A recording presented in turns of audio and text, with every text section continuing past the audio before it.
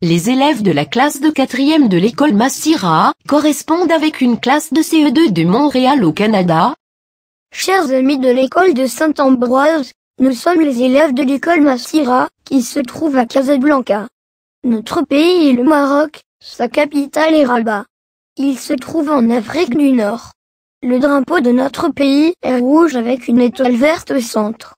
Chez nous, on parle en arabe en amazir et on apprend le français à l'école.